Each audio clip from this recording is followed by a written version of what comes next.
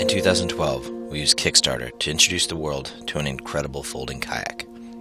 We built a company that was dedicated to connecting people to the outdoors.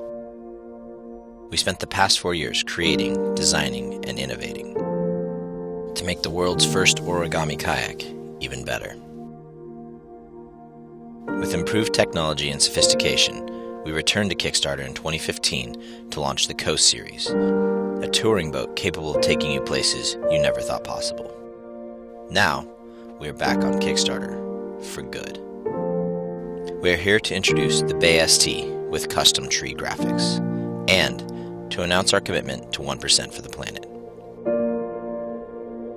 If you're not familiar with 1% for the Planet, it is a global organization that connects dollars to doers to address the most pressing issues facing our planet.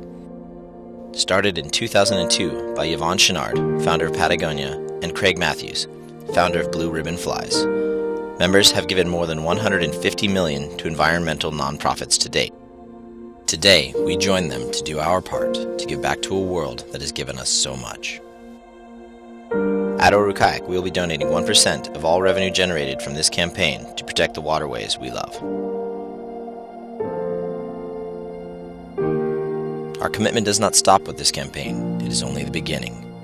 We look forward to working with 1% for the planet, and with your support, we can truly make a positive impact.